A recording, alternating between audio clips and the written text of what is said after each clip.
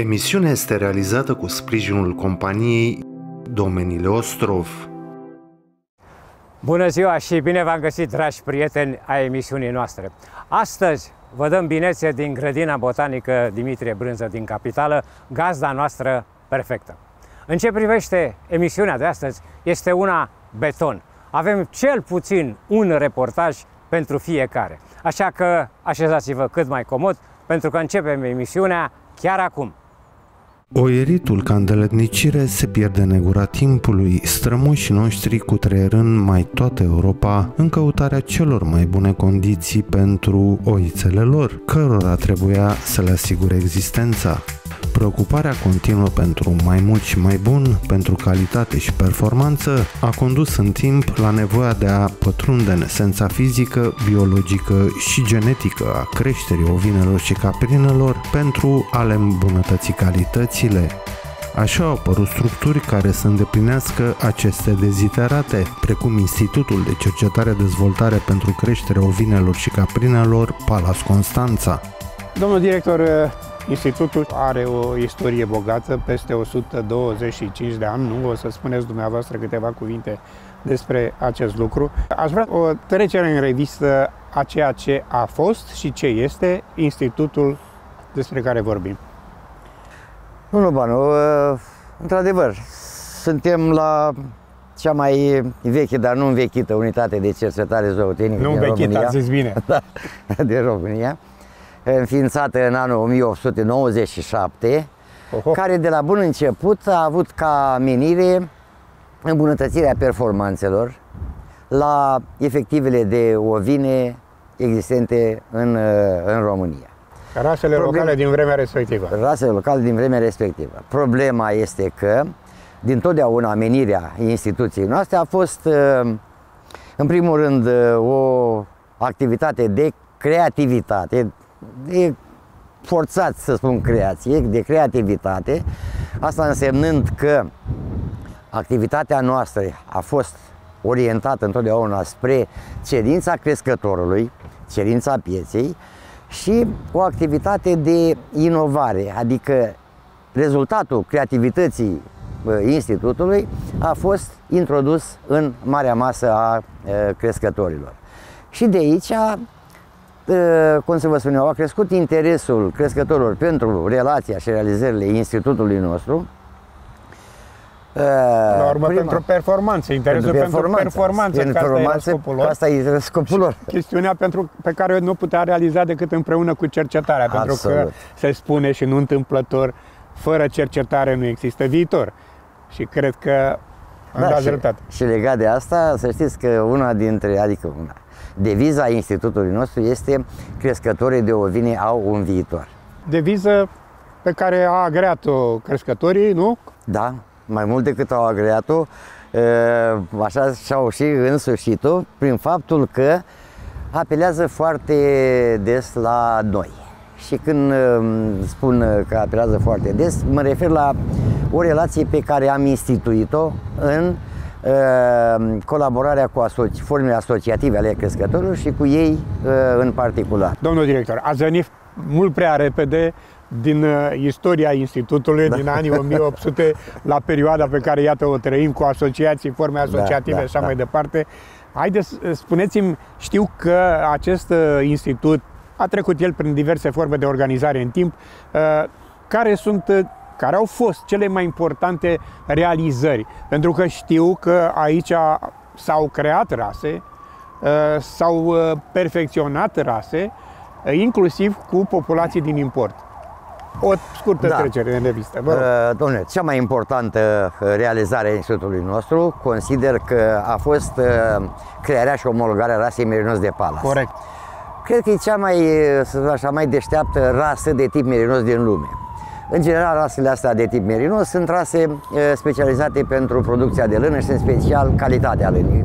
Lână fină. În principal finețea. Cum ați realizat-o? Cu ce material biologic? Ce ați folosit pentru realizarea deci, acestei deci, rase? Pentru realizarea acestei rase, înaintașii noștri au folosit rase din uh, rase locale, în general rase din uh, zona țigăii, peste care au, pe care le-au încrucișat cu berbești din rasă merinos, berbești din rasă merinos de Rambouillet din Franța, Escurial din Spania, Lutevis din Germania și ulterior rasa de Stavropol și Caucazian din uh, Rusia, actuala Rusia. Dar vor, se vorbea la un moment dat cu 35, 40, 50 de ani în urmă despre merinusul de Australia. A fost, da. E adevărat? A, a fost. A fost și o infuzie de merinos australian, pentru că la rase de tip merinos merge o infuzie Sigur. Uh, pentru îmbunătățirea unor uh, parametri, o infuzie uh, temporară cu o altă rasă. Deci s-au adus uh, merinos australian și poluar din Australia, pe care, uh, care au fost folosiți pentru îmbunătățirea calității lânii la merinosul de palas.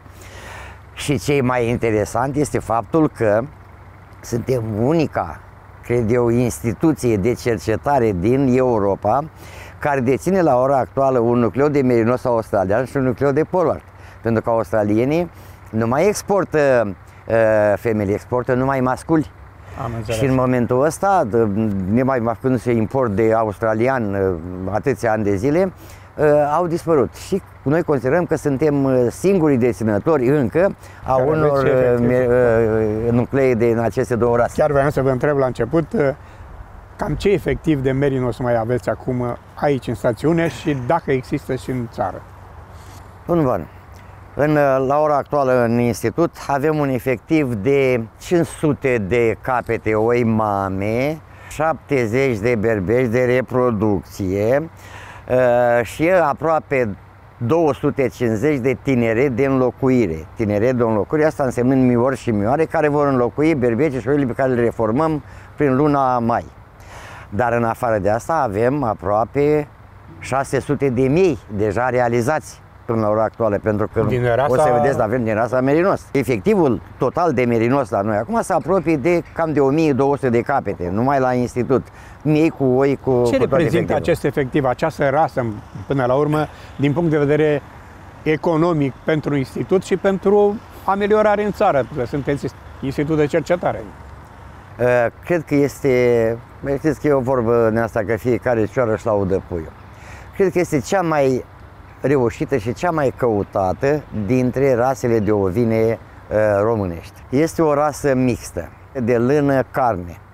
Acum de când, mă rog, lâna nu mai are importanță și căutare, se merge pe uh, producția de carne la oile din rasa tip merinos. Producție care se realizează sau îmbunătățire sau um, un, o perfecționare care se realizează prin două căi.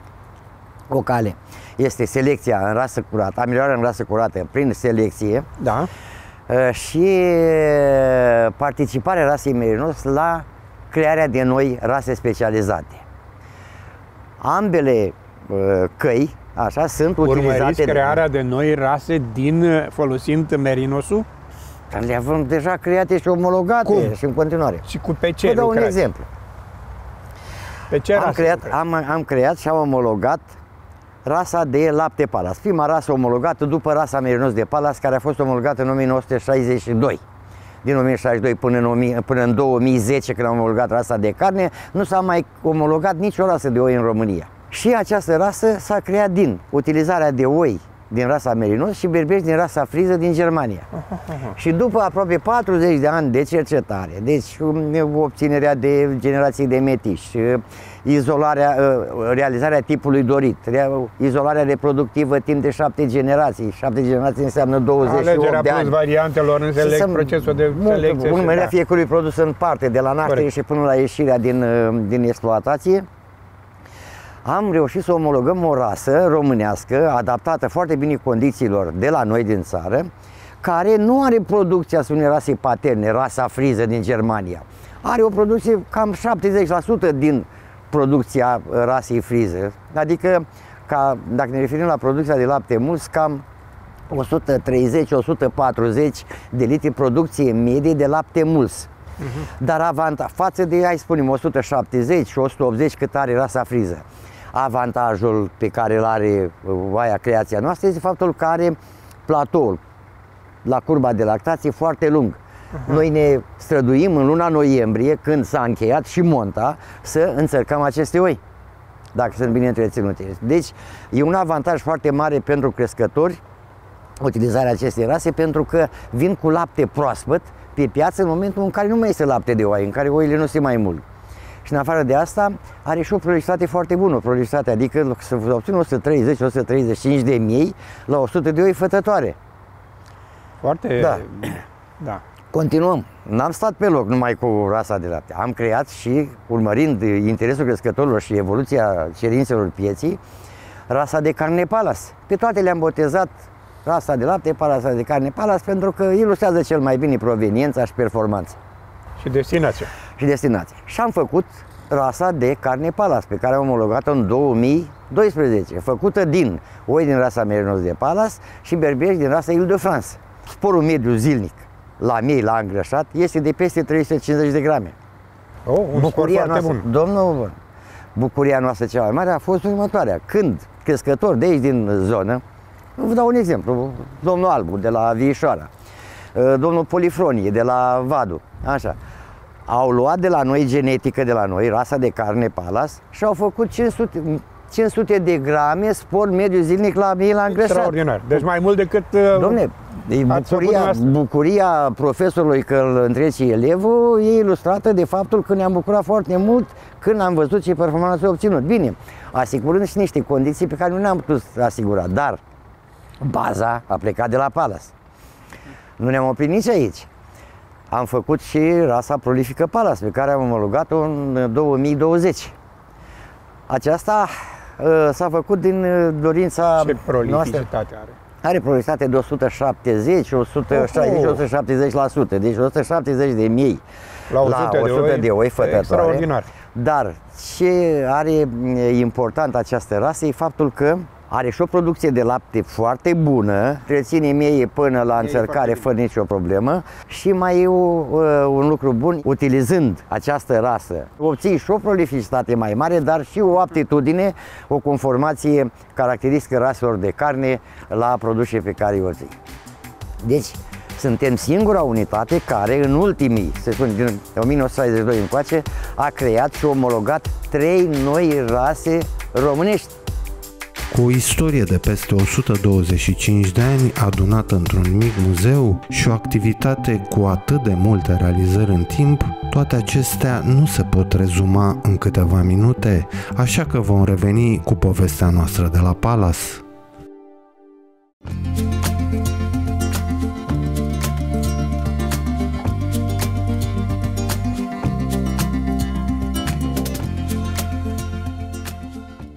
În continuare vă propunem un interviu despre tradiții și datini mioritice, despre obiceiuri gastronomice primite moștenire de la ciobanii români. O mâncare a oierilor încă din vremea dacilor. Sloi a fost punctul de atracție al vizitatorilor de la festivalul La Paz din Timișoara. Un fel de carne la garniță, dar cu un gust special mâncarea ciobanului, adică aceea carne care se conservă foarte bine și se menține pe termen destul de lung. Da, cei care le veneau la București veneau tot timpul înarmați cu astfel de borcane. Ciubanii care mergeau în transumanță, aceasta este, este mâncarea lor, care o luau în desaci, se pune pe măgar și plecau la drum. Asta este foarte important așa de, ca și fermier în cadrul acestui festival, pentru că asigurați hrana tuturor, hrană sănătoasă. Cum vă simțiți? Sau cum? Este pentru prima dată când vin la Timișoara, vin la Timișoara Uh, este o colaborare între Muzeul Astra din Sibiu, cu care colaborez de foarte mult timp, și Muzeul din uh, Timișoara. Tânărul Oier ne-a vorbit și despre viața la stână din zilele noastre, cu provocările și încercările aferente. Am 3-400 uh, de oi aproape de Sibiu. Înainte să mergea transcumanță din Sibiu, ciobanii noștri ajungeau până partea asta de sud. Mai se practică astfel de tradiții? Din păcate nu se mai practică astfel de astfel de obicei, că este, era un obicei. Toamna se mergea în transumanță undeva până în uh, Dobrogea, Constanța și se întorcea iarna când începeau oile să fete. Din păcate, în ziua de astăzi nu se mai practică această, acest această transformanță, să zic. Câte capete de oi aveți? 4, 400. Cât e nevoie ca să trăiești decent. Și produsele fabrică de procesare a produselor a laptelui? Produsele care le fac eu sunt cele normale, adică doar telemea, burduf, sloi, pastramă și ca desfacere la piață, la Sibiu, o zi pe săptămână și în rest, cine dorește, de la ferma proprie de acasă. Este o misiune grea să fii oier în ziua de astăzi. Cum... Da, este foarte dificil din cauza, odată din cauza birocrației, a doua, al doilea motiv ar fi forța de muncă, uh, care nu mai este, din păcate. De aceea încercăm să ținem uh, oi cam cât ne-am putea noi descurca în uh, familie, să zic așa. Deci sunteți această fermă a dumneavoastră? Da, este o fermă familiară, să zicem. Da, de producători. De și cu, cu piei și cu lâna vă descurcați? Da, da, ne descurcăm cât avem nevoie, cât uh, să putem uh, să supraviețuim și să mai facem și ceva pe lângă, să avem ceva investiții în fermă. Da, e ok. Dacă muncești, bineînțeles. Lâna la ce o folosiți? La izolarea casei sau la ce? Lâna de oaie sau unde o e, folosește, nici nu se mai comercializează, adică nu se vinde lâna. S-au închis fabricile de lână care se făceau sfetărele acelea de lână, călțunii aceia din lână. Deocamdată se pare că importăm tot ce se face din lâna oi. Aceste produse nu le consuma oricând în perioada anului, nu? Floiul de oaie se consumă doar în perioada toamnii. Toamna când uh, deja scade temperatura, să zic așa, nu în timpul verii. Aceasta este telemeaua maturată, care se face primăvara și se ține până pe iarna târziu.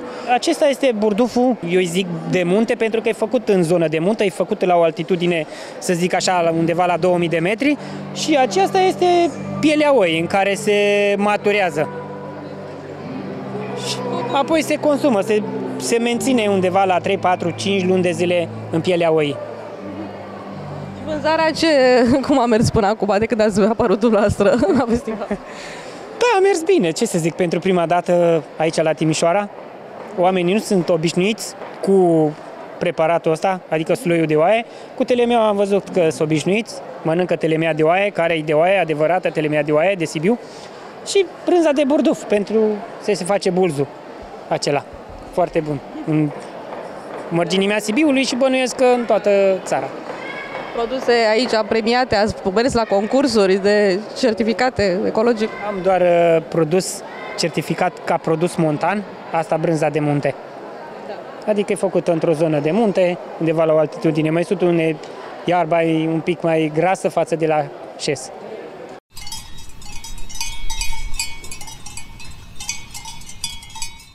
El este un uh, căluț aparținând uh, rasei Furioso Nordstar. Îl cheamă Nordstar 46. Este un cal de sport, mai puțin utilizat deocamdată la noi în țară, dar în afară se folosește cu succes în probele de atelaje și chiar și concurs complet. La noi evoluează cu brio la concursul complet, este un căluț de 6 ani și anul trecut deja și-a dat debutul în concursurile internaționale, urmând să urce la un nivel tot mai mare. Anul acesta a ieșit campionul cailor de 6 ani. El este mai uh, masiv, culoarea murgă sau murg închis, aproape negru, e caracteristica acestei rase. Este uh, un cal cu un uh, temperament vioi. Avem o hergelie care produce mânci din rasa Furioso Nordstar la Rușețu și în ultima vreme au ieșit produși uh, din ce, din ce în ce mai buni, cu o conformație care se adaptează sportului ecvestru sau uh, sportului cu atelaje, unde a început să fie reprezentat. Antrenamentul trebuie să fie zilnic, cu o zi de repaus activ, cu plimbare, uh, exact ca și la sportivi, la, la oameni, Uh, condiția fizică se face în timp și gradual pentru a evita uh, supraîncărcarea și accidentările. Este o rasă care s-a fondat în Ungaria, la Mezehegheș, după care a fost preluată în mai multe țări și noi, după cum v-am spus, avem o hergelie care se dedică producerii de, de mâși din această rasă.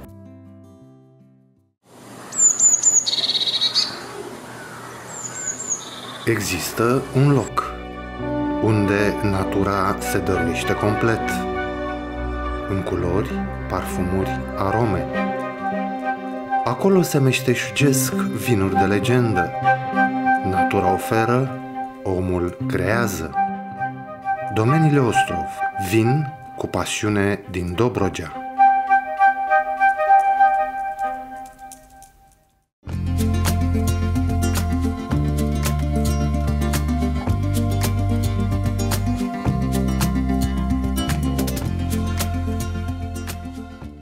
Recent am participat la un eveniment dedicat agriculturii iscusite, conservative și de precizie. Mai multe detalii în materialul următor. Aș dori să ne vorbiți puțin despre noutățile companiei dumneavoastră pentru anul 2024.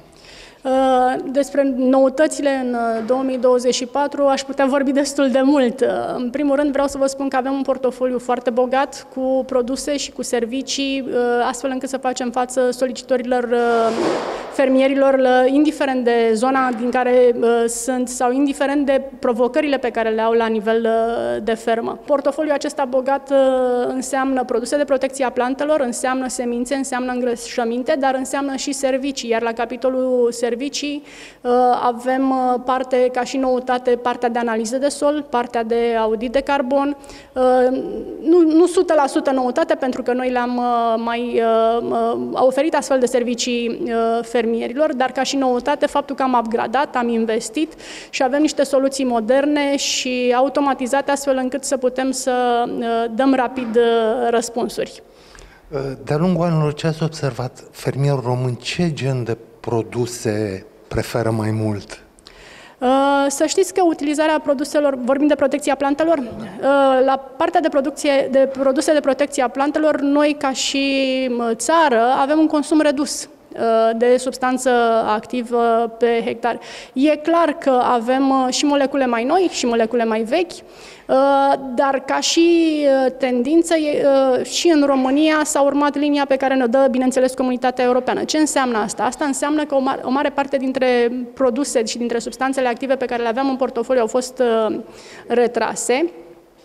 Nu tot timpul s-a venit cu soluții în loc, în sensul că chiar am văzut acum că fermierii francezi, una dintre solicitări a fost, domnule, dacă scoți ceva încearcă să vii cu un produs viabil care face același lucru, să, să existe un înlocuitor. Uh, iar uh, din punctul de vedere al preferinței efective a fermierilor uh, români, vă spun, preferă din ce a mai rămas, pentru că bă, portofoliul de substanțe active care a mai rămas este destul de, de limitat. Dar și aici uh, există variante, există, uh, cum să spun, uh, soluții. Important este să știi să le alegi pe cele care sunt potrivite pentru problemele pe care le ai în câmp, să le alternezi, să nu creezi rezistență, că și asta este un lucru foarte important, pentru că, încă o dată, au rămas puține și dacă nici pe ele nu, le, nu ai un management al lor corect, e clar că vom avea probleme mai mari pe viitor. De exemplu, la finalul anului trecut, mai precis la sfârșitul lunii noiembrie, uh, Parlamentul European a decis pentru moment. Amânarea deciziei privind, uh, este o discuție la nivel de comunitate europeană referitor la uh, reducerea cantității de produse de protecție a plantelor utilizate pe hectar. Toți suntem pentru așa ceva, dar atenție, reversul medaliei este să nu avem posibilitatea să producem, ca și fermieri, să nu producem nimic în, în Europa, pentru că restul Uh, lumii are acces la astfel de soluții, produce mult mai ieftin și atunci piața uh, din Europa e deschisă celor care au un avantaj economic uh, și vin cu soluții mai ieftine. Deci partea asta de a reduce cantitățile de produse de protecție a plantelor pe, utilizate pe hectar, încă o dată, v-am spus, în România România nici nu e cazul pentru că suntem uh, deja la o cantitate destul de mică pe hectar în comparație cu restul uh, Europei. În al doilea rând, uh, să știți că ce am observat așa ca și poveste generală, regulile sunt făcute fără a se ține cont de știință. Din păcate. Și probabil faptul că astăzi avem proteste din partea fermierilor, tocmai asta vin să sublinieze, că nu poți să lucrezi dacă nu ai și uneltele cu care să duci la bun sfârșit uh, producția din câmp. Sunt foarte la modă aplicațiile pentru telefon. Uh, compania dumneavoastră are o aplicație care îi permite fermierului să analizeze solul. Explicați-ne puțin. Vorbim despre o aplicație dezvoltată împreună cu uh, echipa uh, OGOR, un startup românesc de oameni pasionați și fermiere la dispoziție, intrând pe site-ul Alcedo, aplicația My Alcedo Soil. Uh, este o aplicație prin care, uh, făcându-și cont, uh, pot să solicite efectuarea unui pachet complet de analize de sol. Adică fiecare fermier își poate descărca această aplicație, își face un cont și își comandă analize de sol. Comandând analize de sol, acolo completează și formulare. Asta înseamnă că dânsul poate beneficia de o echipă care îi face prelevarea geolocalizat, adică făcută într-un mod profesionist, Uh, pentru că apoi îl interesează ca rezultatul să fie de o acuratețe deosebită, pentru că altfel nu face nimic dacă nu avem toate aceste etape făcute bine. Poate să-și preleve dumnealui, dar descărcându-și această aplicație pe telefonul mobil, ducându-se într-o parcelă, acel telefon îi arată exact punctele din care va face prelevarea acestor probe și câte probe trebuie să ia pentru a avea o probă medie. Tot aici găsește informații în funcție de cerința dumnealui. Poate acel fermier dorește să depășească cantitatea de azot, substanță activă pe care trebuie să o respecte prin ghidul de condiționalitate. Știm că în funcție de pantă, noi fermierii trebuie să, și de cultură, bineînțeles, porumb, cereale păioase sau trebuie să uh, nu depășim o anumită cantitate de azot, substanță activă. E, dacă vrem să o depășim, trebuie să avem un uh, buletin de analiză cu o firmă atestată, cum este Alcedo, prin care să avem uh, justificare pentru depășirea cantității de azot. Deci dorim mai mult, avem condiții, avem fermăn irigat sau potențialul pedoclimatic și pluviometric din zona noastră este deosebit, atunci pot să apelez să fac această analiză pe, cu o probă medie pentru fiecare 5 hectare. Sau în zona mea, potențialul pedoclimatic nu îmi permite să fac o cantitate sau nu valorific o cantitate mai mare de azot de amoniu. Atunci, proba medie poate să fie la 10 sau la 15 hectare. Deci, cam așa aduce. Apoi, fermierul care și-a făcut cont își va vizualiza rezultatul analizelor și recomandările de fertilizare pe lângă pe rezultatul analizelor care înseamnă uh, uh, macroelementele principale, azot, fosfor și potasiu. Uh, macroelemente secundare, sulf, magneziu sau microelementele care sunt uh, fier, mangan, bor, molibden, zinc, uh, microelementele care sunt de multe ori esențiale pentru că aici avem, vorbim despre riscul de carență.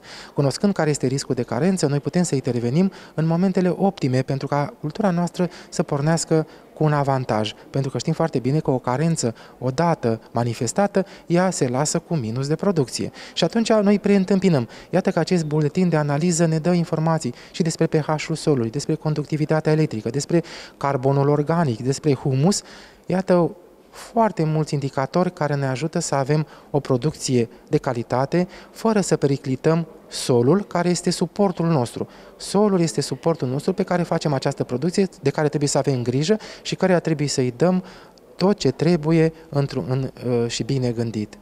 Ce alte aplicații utile pentru fermier mai aveți pe scurt? Pe scurt, aplicația este, o altă aplicație interesantă este MyAlcedo Carbon, unde fermierii pot descărca aplicația aceasta și să intre pentru completarea unui chestionar, chestionar care îi răspunde uh, despre amprenta de carbon, adică fermierul introducând datele despre rotație, culturile, Ehm, cantitatea de îngrășăminte chimice complexe, cantitatea de îngrășăminte chimice pe bază de azot, uh, produsele de protecție a plantelor, numărul de trecere, lucrările mecanice efectuate, va putea vedea care este amprenta lui de carbon și asta îi va da o imagine ca el să poată intra într-o, într-un contract sau într-o colaborare cu o companie care certifică creditele de carbon și de unde poate câștiga bani. Iată că dintr-o activitate uh, agricolă poți câștiga bani dacă dovedești că această activitate este sustenabilă și tu reușești să sequestrezi carbon. Altă aplicație mai veche, dar foarte bună și interesantă, este mai Alcedo Catalog, adică al catalogul Alcedo, unde găsește informații despre toate produsele de protecție a plantelor, fertilizanți, semințe, oferte și el este, îl are ca instrument atunci când completează registrul de utilizare a produselor pentru protecția plantelor pentru că nu poate face greșeli. Pentru că știm că acest registru este o normă de ecocondiționalitate, este SMR și în cazul în care un fermier uh, cade la control uh, și nu are, nu are acest registru completat cum trebuie, poate fi sancționat. Uh, acestea sunt aplicații utile. Le-am gândit să fie utile și uh, cât mai ușor de, uh, de utilizat.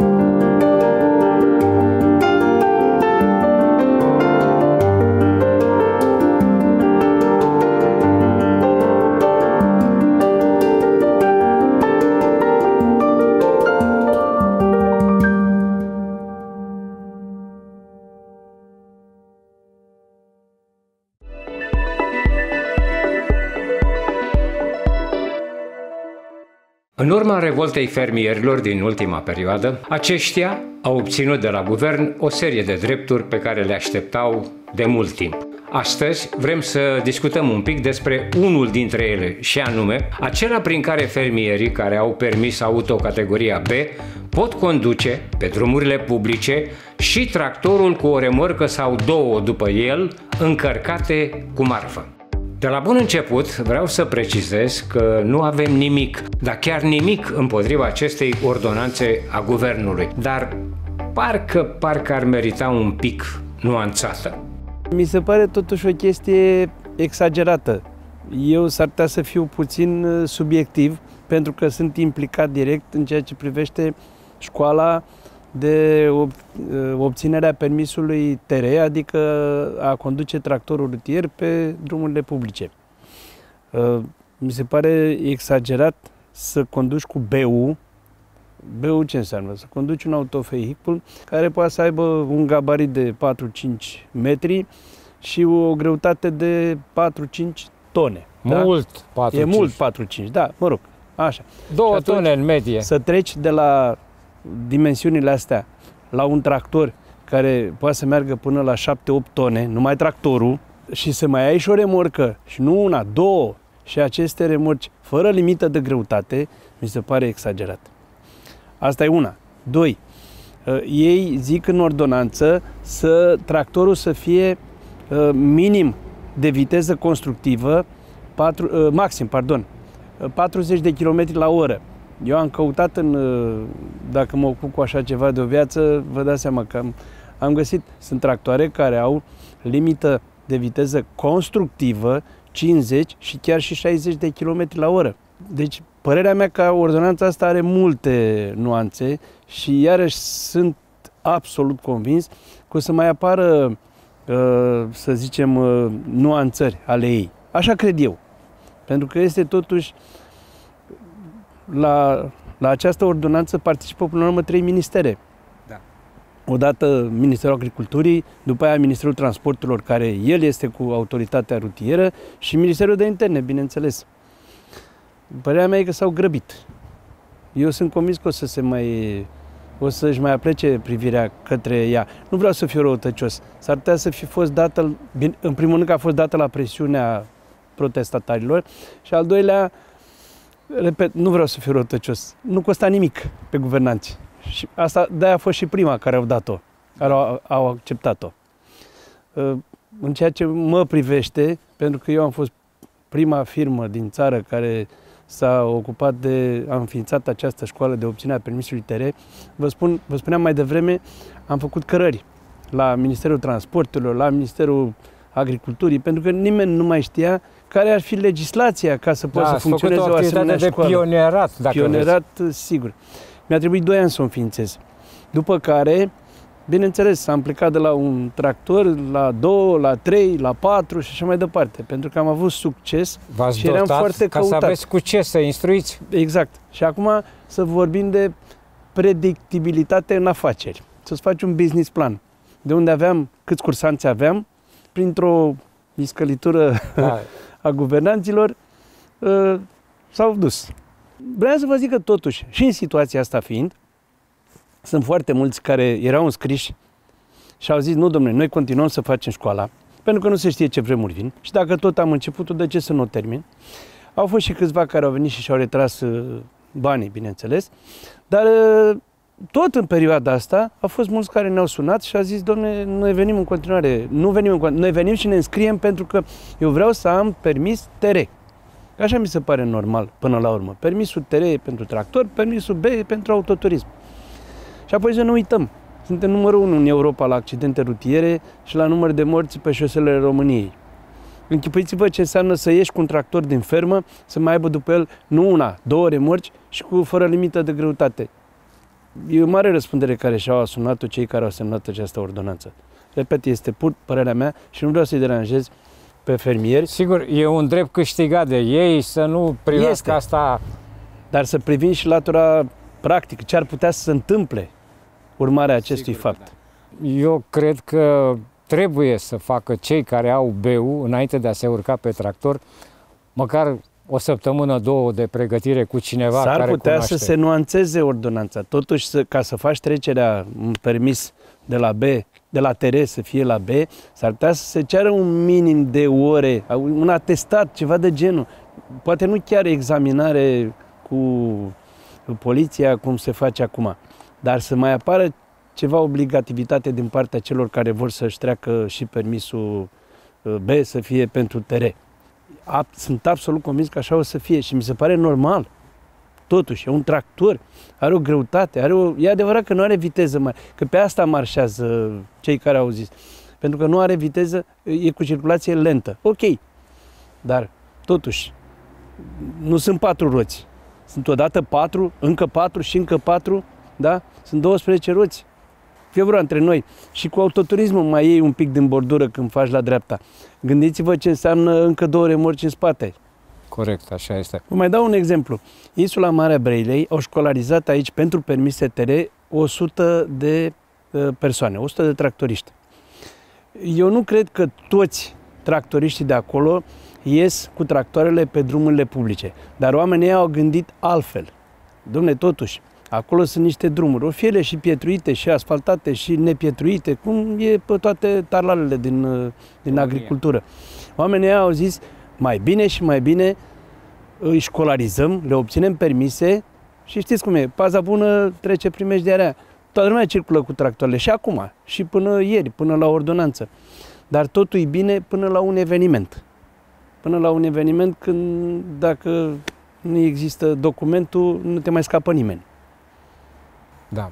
Același lucru aș putea spune și de pregătirea profesională, pentru că noi aici avem și școală de pregătire profesională pentru tractoriști.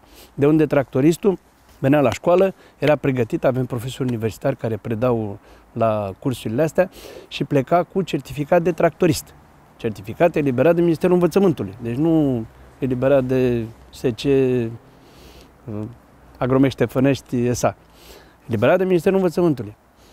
La ce îi ajuta? Odată l-a ajutat pe fermier, pentru că avea un om pregătit pe tractorul ăla de 200.000 de euro și al doilea, tractoarele sunt asigurate casco și așa mai departe, pe leasing.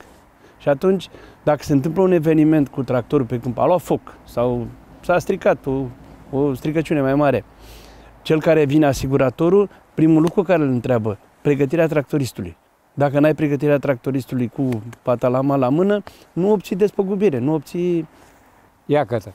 Și cât costă pregătirea tractoristului și cât ar fi... Uh, pregătirea valoare? tractoristului pentru a fi cu certificat de tractorist, iar în jur de 7-800 de lei, dacă nu mă înșel, iar permisul TR era 1800 de lei. 1800 de lei și plătibil în rate. Da. Uh, autoritatea care, Ministerul de Interne, care se ocupă cu eliberarea și testarea acestora, examinarea tractorului, așa, pentru că era afluență totuși de la școală, au mutat uh, examinarea aici la noi, la Ștefănești, ca să, în primul rând, să o scoată din București și în al doilea rând pentru că aici era pioneratul de care vorbeam mai înainte. Așa e. Pe urmă, școala înseamnă 30 de ore de pă, teorie și 50 de ore de practică. Și în jur cam de două luni, mă întrebați mai devreme, da. cam două luni, două luni și un pic, cât dura toată durata acestei școli. Iată, niște lucruri simple, corecte, zicem noi. Legale. Legale. Și care nu dădea emoții nimănui. Acum, cei care ne privesc urmează să decidă cum e mai bine. Repet, eu poate sunt un pic subiectiv, dar am întrebat și eu între timp și pe cei cu care colaborăm și de la Ministerul de Interne și de la Autoritatea Rutieră și ei sunt uh, nedumeriți. Surprinși. Surprinși probabil și cel mai sigur că va fi totuși ceva. Nu poți să treci așa, astăzi ești cu beu, mâine ai toate categoriile. Mi se pare absurd totuși.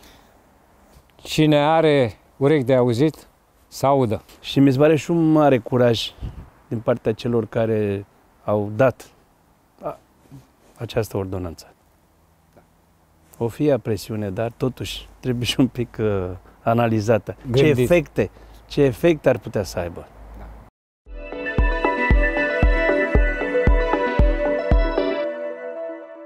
Cum îngrijim plantele rezistente în sezonul rece? Tot ce trebuie să știm dacă le avem în apartament, aflăm de la un specialist în domeniu.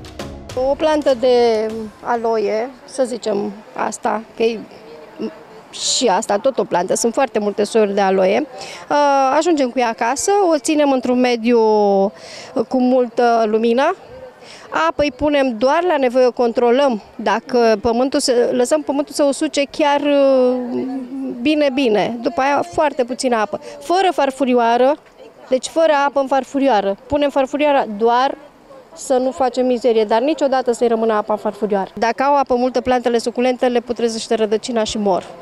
Le cad frunzele și putrezesc. Noi uh, folosim și un uh, perlit pentru, nu știu dacă se vede, așa, uh, să aibă un pic de drenaj la turbă pentru suculente. Le stropim cu un îngrășământ, măcar o dată de două ori pe an, vara în general. Și unde să le păstrăm? Într-o încăpere cu multă lumină sau mai multă umbră? Cu multă lumină.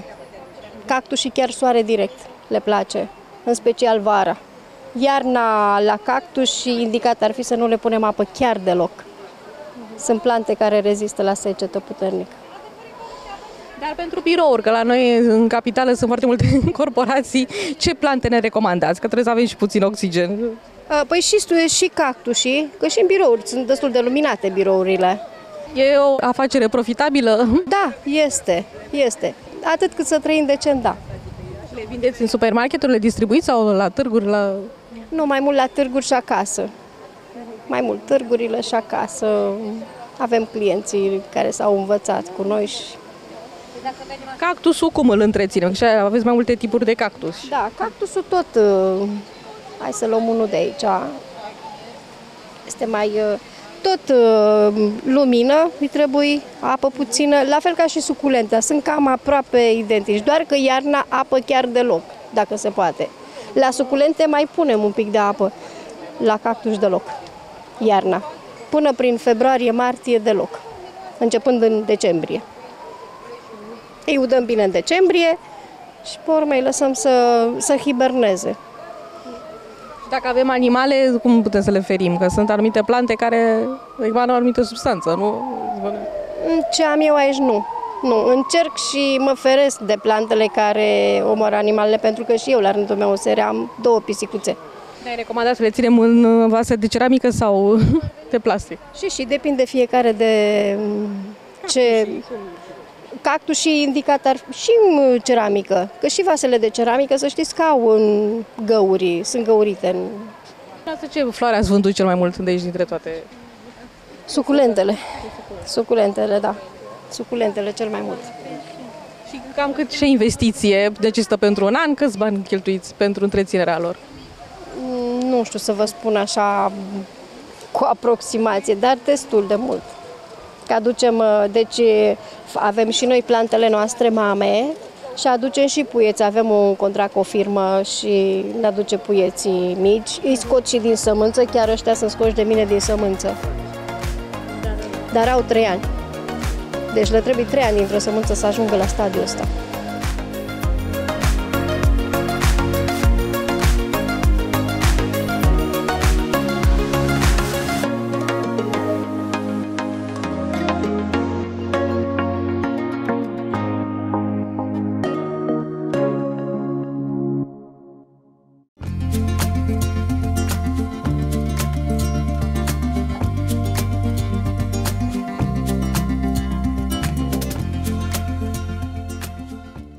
Trendul ultimilor ani arată că tiparele alimentare ale oamenilor se schimbă și că aceștia devin mai preocupați de alegerea unor mâncăruri sănătoase. Asta a determinat apariția tot mai multe ferme ecologice, în cazul acestora se interzice utilizarea organismelor modificate genetic, a fertilizanților și pesticidelor de sinteză, a stimulatorilor și regulatorilor de creștere, hormonilor, antibioticelor, etc. În etapa de procesare a alimentelor se interzice folosirea aditivilor alimentari, a substanțelor complementare și a substanțelor chimice de sinteză pentru prepararea alimentelor ecologice. Dacă intenționați să puneți bazele unei ferme ecologice sau să realizați conversia către agricultura ecologică, trebuie să știți că certificarea se acordă în anumite condiții. Iată care sunt acestea. Noi suntem un organism de certificare uh, care funcționăm de aproximativ 30 de ani. Uh, suntem printre primele două organisme de certificare românești, SRAC fiind acronimul de la Societatea Română pentru Asigurarea Calității. În prezent uh, avem toate certificările, schemele de certificare existente, inclusiv certificarea ecologică. Uh, pe piața de certificare ecologică suntem de aproximativ 7 ani. Am crescut treptat uh, și acum în prezent aveam, avem un număr de aproximativ 1500 de fermieri certificați ecologic în România. În același timp, ce pot să vă spun este că certificăm toate activitățile și domeniile Asta însemnând uh, plante și produse de origine vegetală, creșterea animalelor și aici includem toate tipurile de animale, cum ar fi bovine, ovine, caprine, albine, um, păsări, de asemenea.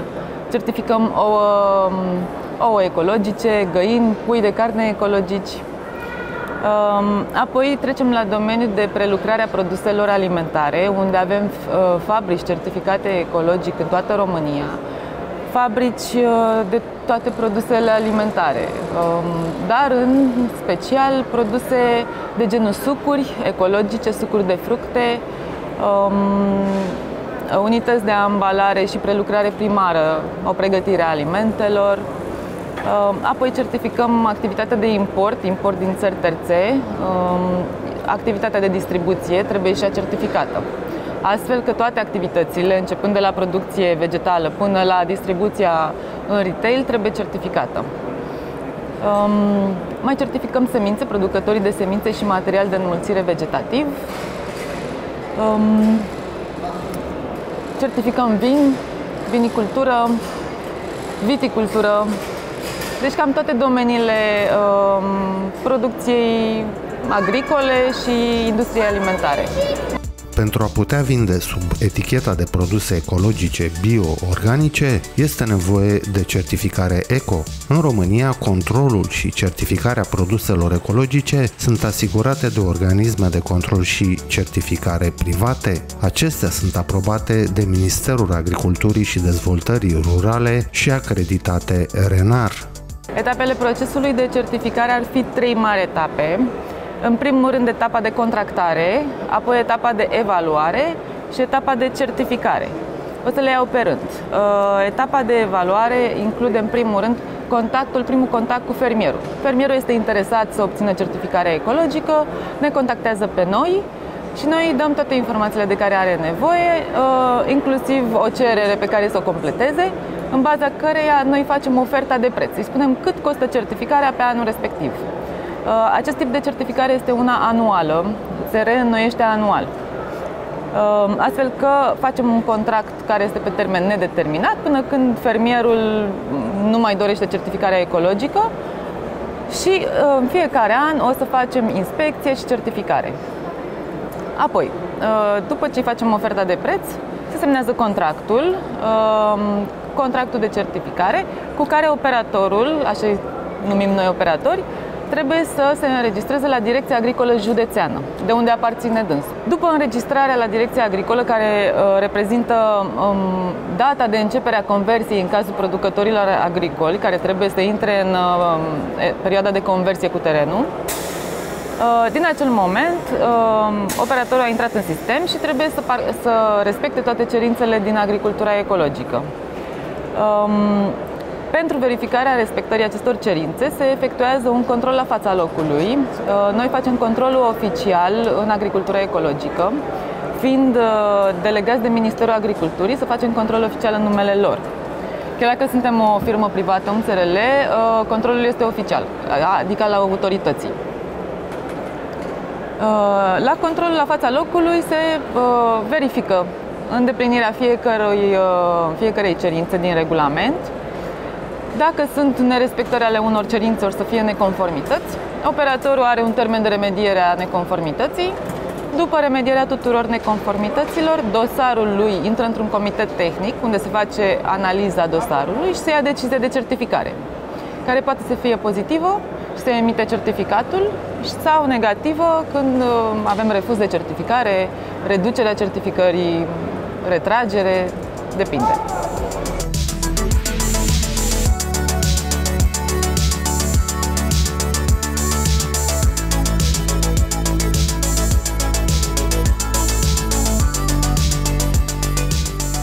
Noi trebuie să facem inspecția în perioada optimă. Ce înseamnă perioada optimă? La producător, de exemplu, atunci când uh, uh, cultura este în stadiu de vegetație. Și atunci așteptăm stadiul de vegetație ca să putem să facem inspecția. Uh, ce pot să vă spun legat de uh, înregistrarea în sistem trebuie să se facă pentru producătorii agricoli până la 16 mai în fiecare an. Asta este data limită.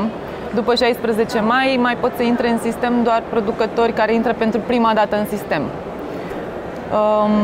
După care noi facem controlul în perioada aceasta optimă, uh, apoi se eliberează certificatul după ce se rezolvă toate neconformitățile. Deci depinde foarte mult și de fermier și de momentul când uh, este perioada optimă. Dar haideți să spunem că e vorba de un distribuitor unde putem să mergem oricând care are produse în uh, stoc și atunci durează, poate dura și două săptămâni sau depinde cât de urgent este. Deci depinde de activitate și de momentul semnării contractului, să zic așa. În urma controlelor efectuate de organismele de inspecție și certificare, operatorii care au respectat regulile de producție vor primi certificatul de produs ecologic și își vor putea eticheta produsele cu mențiunea ecologic. Pe eticheta aplicată unui astfel de produs sunt obligatorii următoarele mențiuni. Referirea la producție ecologică, siglele, numele și codul organismului de inspecție și certificare care a efectuat inspecția și a eliberat certificatul de produs ecologic.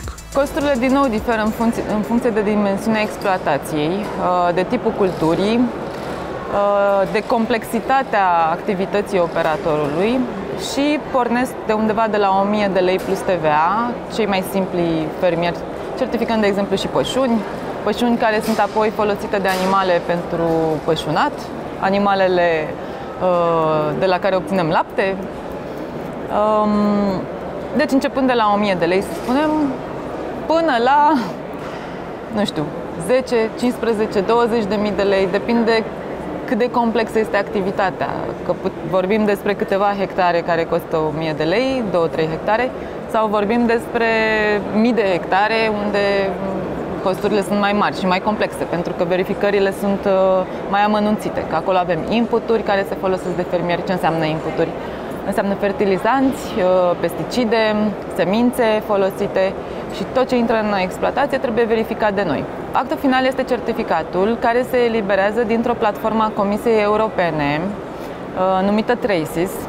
Acest certificat este prestabilit de Comisia Europeană și va avea aceleași informații în cazul tuturor organismelor care certifică produsele ecologice. Conține datele operatorului, um, activitățile certificate, adică producție, prelucrare, distribuție, um, conține lista de produse, conține valabilitatea. Uh, la noi, de exemplu, certificatul este valabil până la finalul anului următor. Deci dacă eliberăm acum un certificat, până la finalul anului 2024.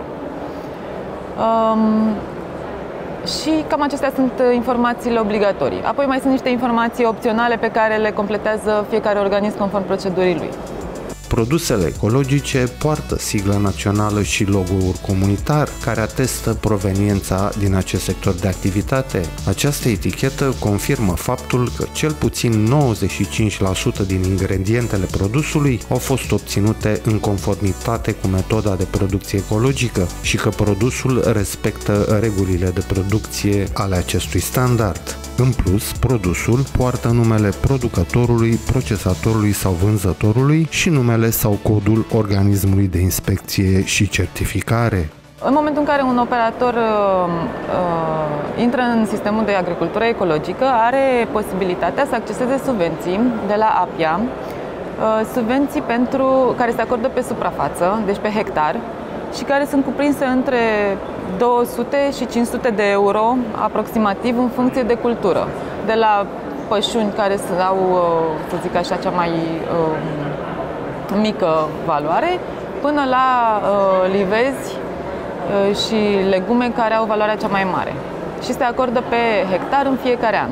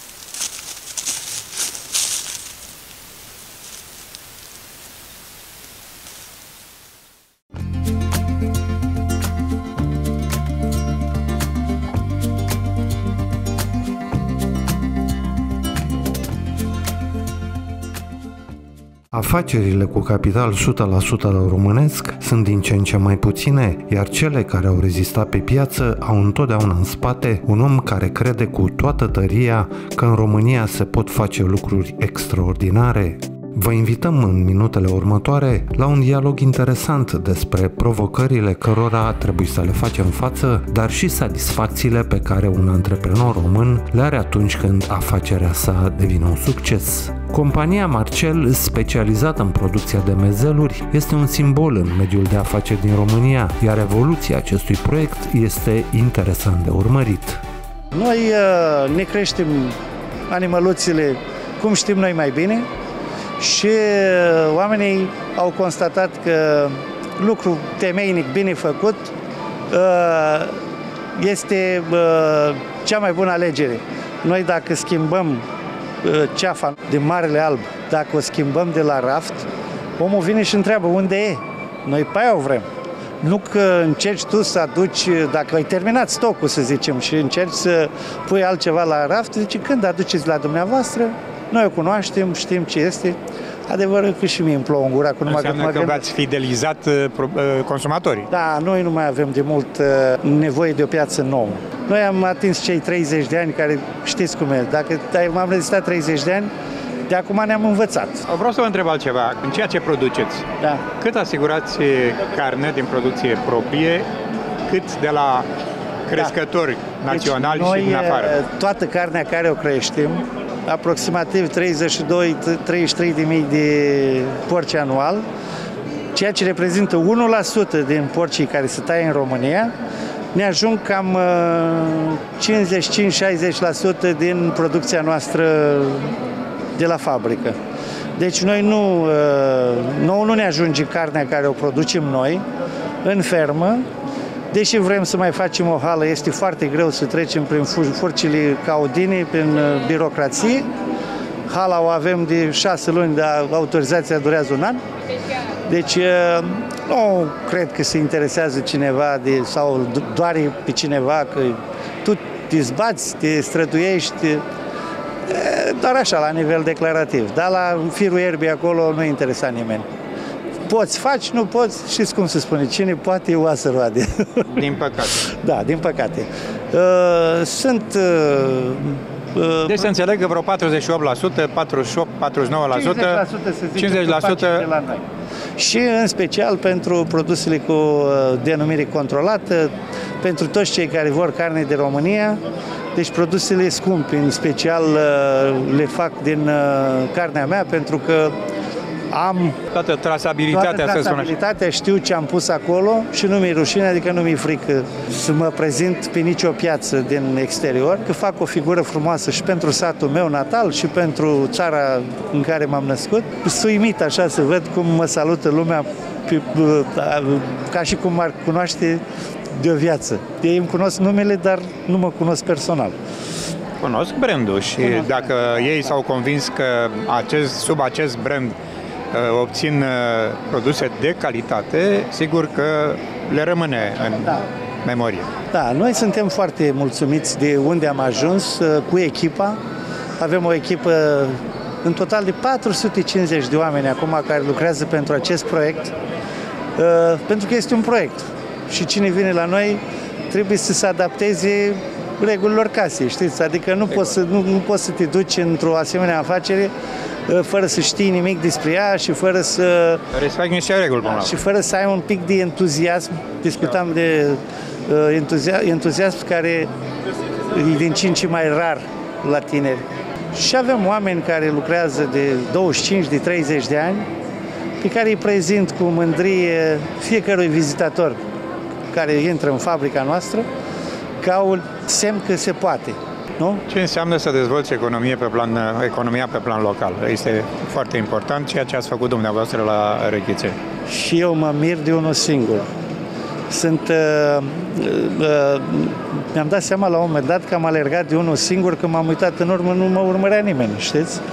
Uh, am început uh, inițial ca să-mi întrețin familia cu afaceri de familie și încet, încet proiectul meu a fost atât de apreciat încât la ora asta facem 40% din producție o trimitem la export, 30% o vindem prin magazinele noastre și restul de 30% la și alții. La... Care, care e piața externă la pe unde oamenii vă poate găsi? Cea mai bună este Anglia la ora asta și mulțumim colaboratorilor noștri de acolo. Uh, și peste tot, în Spania, în uh, Italia, în Germania, în Belgia, peste tot avem colaboratori. Eu am fost la dumneavoastră și am văzut, uh, ați realizat multe lucruri o spuneați, dar parcă mai voalat așa, da. ați investit foarte mult în, uh, în fabrică, uh, cu mai mulți ani în urmă sau cu ceva ani în urmă, ceea ce determină, bănuiesc, o profitabilitate mai mare, un produs de calitate, produse de calitate în general și iată de ce sunteți atât de bine apreciați pe în piață, nu numai în România. Da. În momentul în care uh, poți să-ți faci un plan de afaceri pe un an întreg, cum facem noi, adică ne cumpărăm cerealele pe un an întreg pentru fermă, avem unde să le depozităm pe toate și chiar și mai mult, acum vrem să facem și o fabrică de pizza, spre exemplu, adică să îmbinăm pâinea cu carnea. Adică până acum am făcut pâinea separat, carnea separat, acum vrem să facem și un mix între ele și având posibilitatea să fructificăm uh, uh, roadele locului, avem de trimitem în port la Constanța uh, și păcat, uh, deci zona respectivă ar mai ține încă 4-5 camine probabil, dacă ar fi întreprinzători care să se ocupe de treaba asta. Uh, am văzut că s-au făcut găuri în asfalt, șanțuri la mașinile care se duc în port, și cele din Ucraina și cele ale noastre și păcat că nu se uh, transformă totul în valoare adăugată. Eu am un, uh, sunt un exemplu de a transforma uh, produsul de la furcă la furculiță, inclusiv paiele le folosim acum și facem aburi cu ele în fabrica noastră pentru ca să economisim, adică să, să ținem în frâu costurile pentru că ăsta e cel mai important lucru, mai ales uh, în perioada asta dificilă. Uh, am avut facilitățile care se zvonește că se ridică astea cu uh, facilitățile la salariați, și cei de la fermă și cei de la fabrică. Ambii, ambele sunt în zona asta agricolă și industria alimentară, care au fost foarte bune. Banii au fost trimiși către oameni, Uh, nu i-am transformat uh, neapărat în profit. O să ne fie un pic cam greu să le explicăm acum că o perioadă o să fie un pic tulbure, în sensul că să vedem de unde luăm și unde punem, în așa fel încât ei să sufere cel mai puțin, că cel mai urât este să te duci la uh, angajați care văd că fac o treabă bună, ce produs iese și să le spui, știi, uh, va trebui să vină austeritatea și la noi o să treci și pe asta și conform uh, vorbei populare, conform timpului o să trăim. Deci uh, nu avem cum să... Noi o să ne plătim taxele în continuare ca și până acum și chiar dacă asta reprezintă cam 3% din cifra de afaceri, o să vedem cum o, de unde recuperăm, de unde, o, de unde faci, acoperim golul. Dar sigur ne vom descurca. Sunt convins. La nivelul nostru sunt convins și bănuiesc că sunt mulți care da. vor face tot lucrul ăsta. Chiar dacă nu o să avem în continuare aceleași rezultate financiare, ă, faptul că o să fim, sigur o să fim pe plus, că nu se poate să nu găsim noi o formulă, ă, e mândria aia de a, de a lucrului bine făcut. Aceasta a fost ediția de astăzi a emisiunii noastre. Dacă v-a plăcut, vă rugăm să ne scrieți. Dacă nu, procedați tot așa. Oricum ar fi, noi vă mulțumim respectos pentru atenție. Vă dăm întâlnire și duminica viitoare la aceeași oră, 12 și 30 de minute pe canalul AgroTV. Iar până atunci vă rog să nu uitați un lucru. Lumea satului este și lumea noastră, oameni buni. A mea, a ta, a ta, a ta, da, da, și a ta. Oriunde ne-am aflat. Pe curând, oameni buni! Emisiunea este realizată cu sprijinul companiei Domeniile Ostrov. thank you